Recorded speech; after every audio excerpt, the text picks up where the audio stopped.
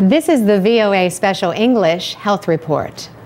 In December, doctors in Mumbai, India, reported about a group of patients with what they called totally drug resistant tuberculosis.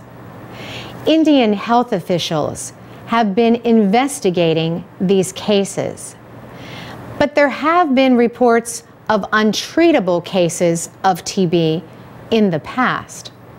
Doctors reported 15 patients in Iran in 2009 and two patients in Italy in 2007.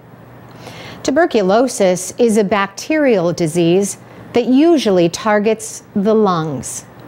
It causes an estimated 5,000 deaths each day, or about 2 million a year. Some forms of TB bacteria no longer react to one or more of the antibiotics commonly used to cure the disease. These are known as drug resistant strains. Some resist even more drugs. The World Health Organization says 69 countries have reported cases of extensively drug resistant tuberculosis. The WHO says at least 25,000 such cases are reported worldwide every year. The agency's Director General, Dr. Margaret Chan, is concerned about the spread of drug resistant TB. She says, call it what you may, a time bomb or a powder keg. Any way you look at it, this is a potentially explosive situation. Officials say drug resistant TB has been a growing problem in countries like India and China. In many cases, doctors misdiagnose patients or give them the wrong treatment or not enough treatment.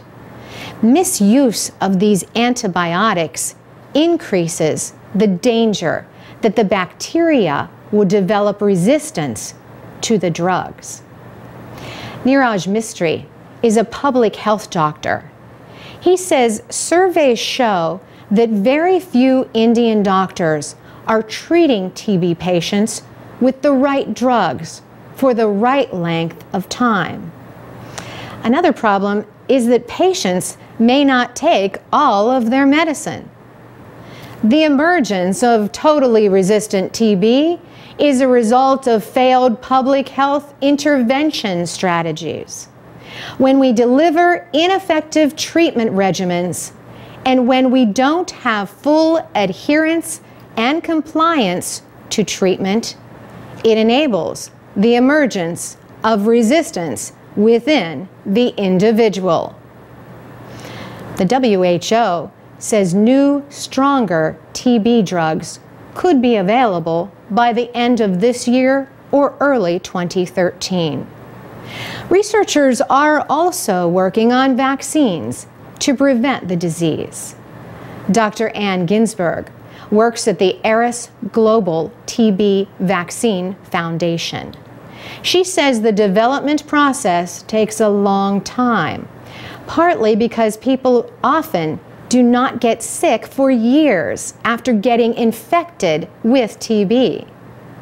So when you do a vaccine trial, you have to vaccinate people and watch them for years.